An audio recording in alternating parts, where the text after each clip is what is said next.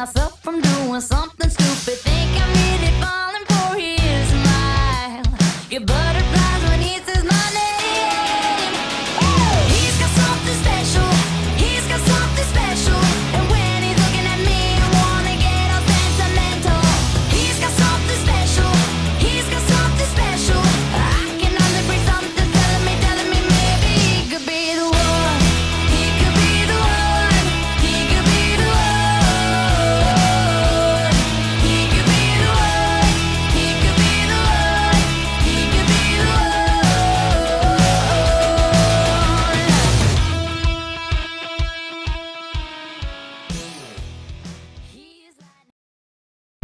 Created using Powtoon.